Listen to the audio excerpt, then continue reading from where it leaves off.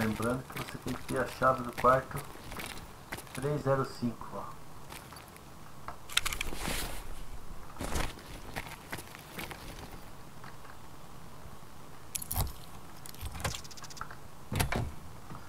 Na verdade, 306. Tem que ter a chave do quarto 3 vem daqui, vem aqui de fora, tá vendo? Sobe por ali, vem aqui.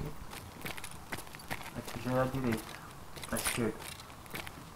Parte 306. O bagulho vai estar tá aqui nesse cantinho aqui, ó. Ele vai estar tá aqui, ó. Beleza? Feito isso, é só deslogar, tá feita a missão. Valeu?